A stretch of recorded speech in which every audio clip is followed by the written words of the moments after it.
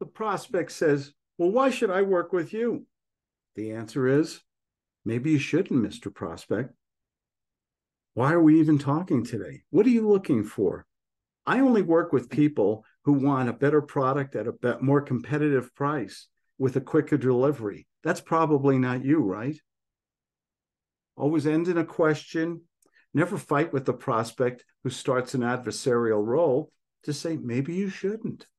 Force them to do the work, force them to answer the questions and give you the qualification and information that you need. And now you know how to sell them.